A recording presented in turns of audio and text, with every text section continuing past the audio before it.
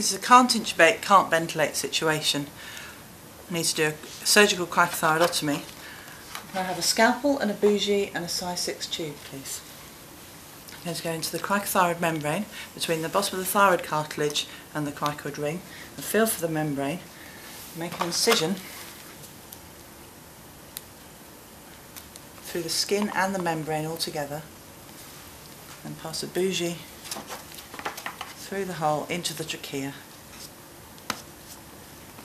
Once the bougie's in I can remove my scalpel and pass the tube over the bougie.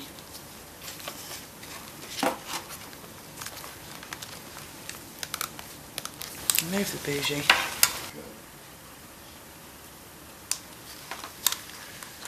And inflate the chest.